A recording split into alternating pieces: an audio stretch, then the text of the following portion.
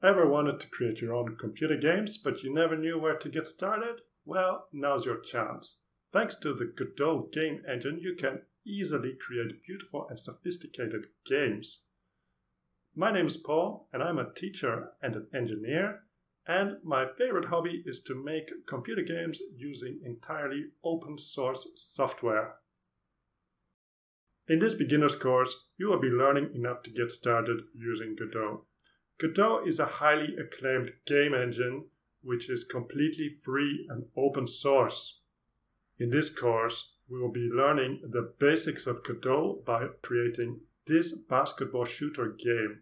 We will be following step by step instructions to create this game. We will start off by learning about using the 2D editor to set up a simple 2D scene with simple nodes. Next, we will learn to add some simple physics to the game using rigid bodies and collision shapes. After that, we are going to get an introduction to scripting. We will learn to add interactive elements like buttons and sliders. The course will also contain many exercises to help us get some hands-on experience using the knowledge we have just gained.